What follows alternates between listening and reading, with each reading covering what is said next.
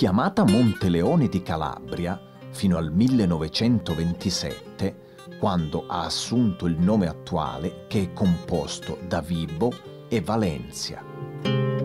La prima parte del nome, ossia Vibo, si riferisce ad un'antica accezione, Vibona, che deriva a sua volta dal greco hipponium, da hippos che significa cavallo.